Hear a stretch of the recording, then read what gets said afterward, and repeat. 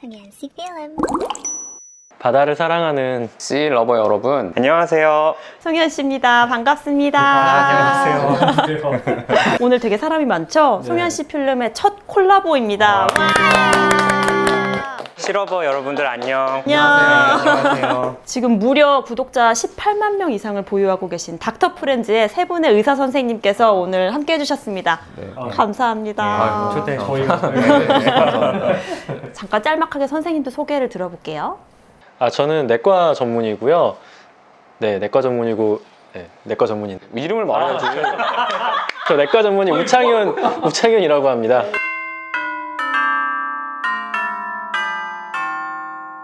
네 저는 이비인후과 전문의 이낙준입니다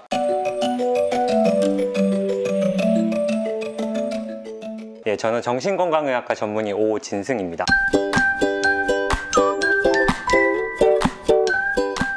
제가 이 닥터 프렌즈 채널을 열심히 구독을 하고 있었는데 이세 분 선생님들이랑 같이 다이빙 의학에 대해서 너무 얘기를 아. 나눠보고 싶은 거예요. 그래서 엄청 망설이다가 소심해 하다가 용기를 내서 메일을 드렸는데 흔쾌히 이렇게 콜라보 제안에 응해 주셨습니다. 아 메일이 너무 감동이었어요 사실 진짜요? 진짜 메일만 보고 너무 저희끼리 얘기한 게 너무 이렇게 예의 바르시고 매너 있게 그냥 메일인데 그렇게 네. 딱 느껴져가지고 아, 저희가 정말 너무 기분이 좋았습니다 처음에 이 사람 거짓말 사칭하는 거 아니야 이런 생각 그런 안 하셨나요? 느낌도 사실 저희도 아나운서로 계실 때부터 또 다 팬이고 아유, 워낙 뭐 감사합니다. 대한민국 모르는 사람들 없을 거예요 근데 또 소개 듣고 가보니까 다이빙에 도전을 하는 모습을 보고 의학적으로 콜라보하면 재밌겠다 이래서 저희 사실 이제 뭐 도전이라는 말을 쓰기도 좀 그렇고 완전히 이제 맞아요. 강사님이시죠 그러니까 송 강사님 예, 예. 귀한 분들께서 시간을 내주셨기 때문에 제가 오늘 한 번 만난 김에 왕창 찍어가려고 파트를 선생님들 각각 전공에 따라서 나눠봤어요. 그래서 오늘은 그 첫 번째 시간 이비인후과 편입니다. 네 이비인후과 너무 정리를 잘 해주셔가지고 제가 참 준비하기가 너무 좋았어요 이비인후과 이낙준 선생님께서는 지금 화제의 웹소설 중증 외상센터 아, 예. 한산이가라는 필명으로 지금 아주 인기 폭발이십니다. 또 이렇게 또 홍보를 해주시네요. 아, 저도 네, 지금 아유, 감사합니다 유료로 쿠키를 결제해가지고 이걸 보고 있거든요. 굳이 겸양의 말은 안 하겠습니다 재밌습니다 이비인후과 제가 평소에 궁금했던 거 이제 여쭤볼게요. 다이빙과 관련돼서 의학적인 질문을 되게 많이 받거든요. 사실 아, 강사들도. 네. 근데 저희들도 전문 지식인이 아니라서 저희가 교재에서 보고 공부한 내용 말고는 음. 사실 잘 몰라요. 전문적인 내용은 가까운 의료진을 찾아 상담하세요. 음. 라고밖에 아, 이제 그렇게. 말씀을 드릴 수가 음. 없었어요. 그래서 선생님들께서 오늘 이렇게 해주신 자리를 분명히 실러버들이 굉장히 좋아하실 것 음. 같아요. 아 정말 그랬으면 좋겠습니다 제가 도움이 됐으면 첫 번째로 압력 평형에 대해서 여쭤보고 싶어요. 우리 다이빙 하면은 수심물 내려갈 때마다 막 귀랑 코랑 아프잖아요. 아프죠 코는 왜 아파? 귀가 아프잖아요. 그런데도 아프 코물 들어가서 아픈 거 아니에요? 압력평이 도대체 뭔가요? 아, 압력 평형이 뭔가요? 근데 압력 평형이 뭐냐면은 우리 비행기 타시면은 느낄 수 있잖아요. 고막 아파지는 거 이렇게 눌리거나 밀리거나 하면서 잠수하시면 그거보다 훨씬 심하게 느껴지는 거거든요. 안쪽에는 중의 압력을 평형을 이루어주는 게 압력 평형인 거죠 결국에는. 엘리베이터도 네. 일종의 아, 그건가요? 너무 빨리 타면 은 그럴 수 있는데 음. 그것 때문에 통증 느끼는 경우는 드물죠. 근데 이제 음. 다이빙을 하시게 되면은 통증이 진짜 심할 거예요. 보통은 스쿠버 다이버의 경우는 코를 잡고 그냥 배에 있는 공기를 이렇게 불어내서 여기가 뻥 뚫리는 아. 방법을 사용하거든요. 횡격막을 눌러갖고 폐에 있는 공기를 팍 하고 보내면은 그냥 뚫려버리죠.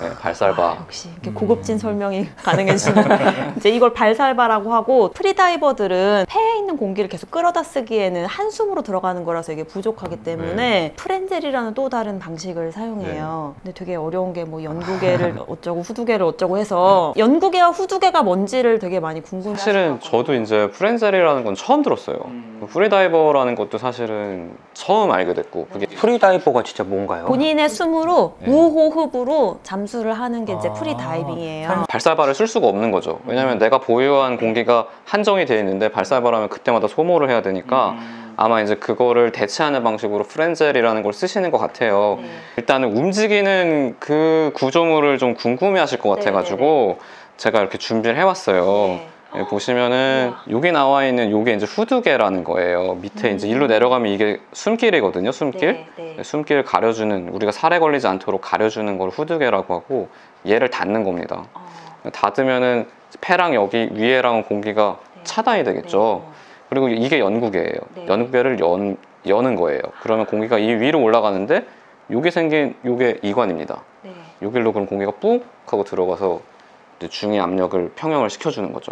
오 드디어 이해했어. 어, 그거를 지금 네. 하고 계시는 거예요. 네. 소리 한번 들려주실 수 있어요? 그러니까 제가 지금 가능해요. 소리가 제가 들려요. 지금 되게 놀랐어요. 프렌제를 육상에서는 되고 아직 물 속에서 머리를 거꾸로 했을 땐 잘 안 되는 상황이에요. 그래서 이렇게 닫고 어? 무슨 소리가 나네? 소리가 나죠. 얼굴 여기 움직이셔. 음.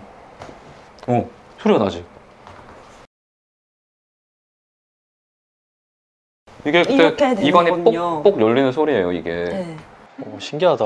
보고 되게 놀랐어. 어이, 나 진짜 너무 깜짝 놀랐어. 왜냐면은 난 이게 움직일 수 있구나. 저는 이비인후과 의사로서 이거를 이렇게 자의적으로 할 수 있다는 걸 처음 알았거든요.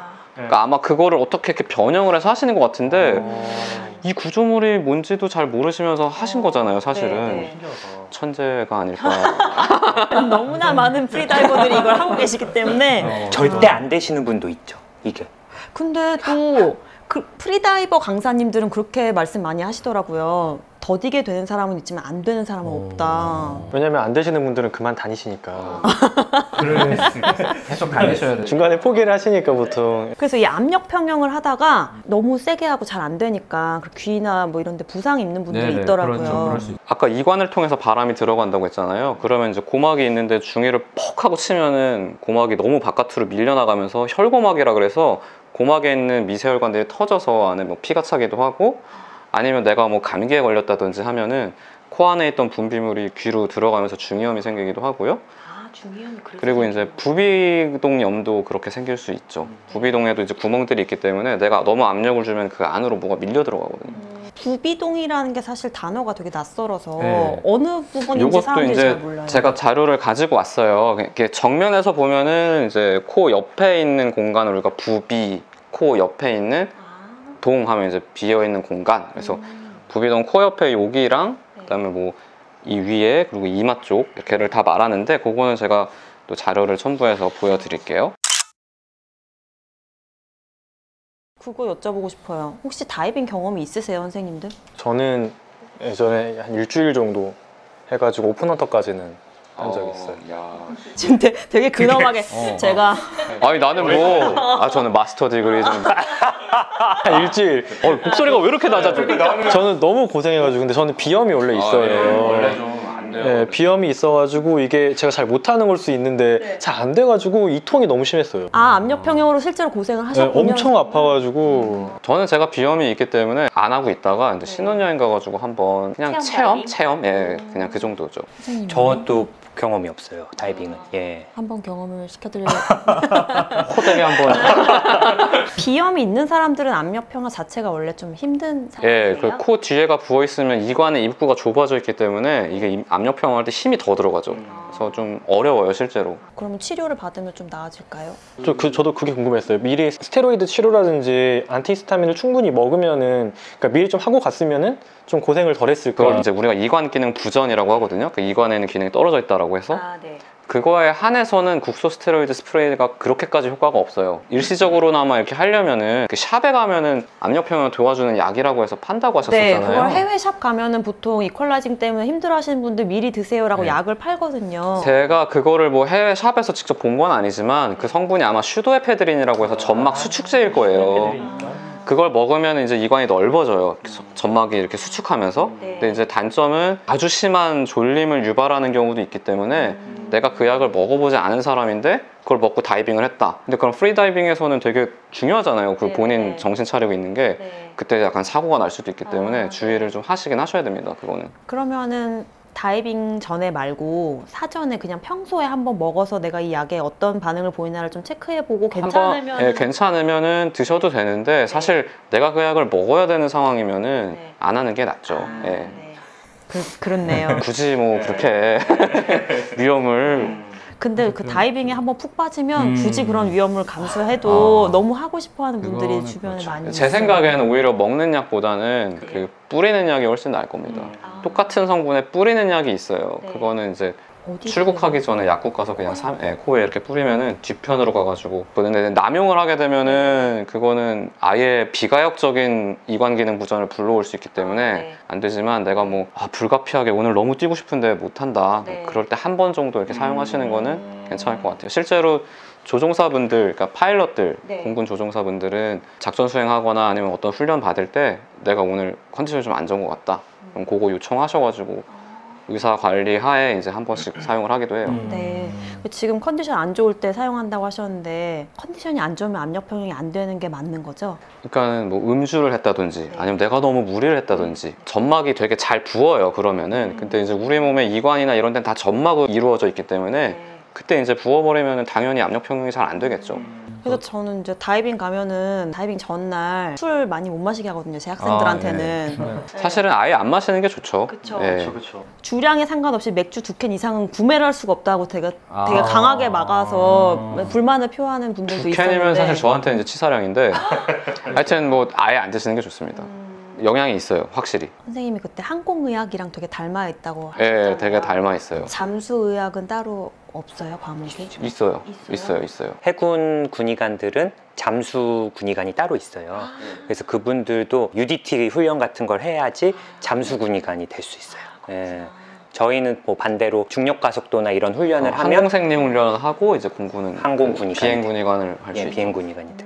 예. 제 친구 중에 한 명이 프리다이빙을 level up을 하려고 좀 더 이제 깊은 수심으로 갔는데 그 이제 30m까지 가야 되는 코스였는데 프리가 이 프리로요. 네, 이게 잘 안 됐나 봐요. 그래서 막 힘을 주다가 너무 아파서 이제 훈련을 쉬었는데 비행기표 일정이 있어가지고 못 돌아오고 아. 거의 계속 있었는데 아파서 죽을 뻔했다.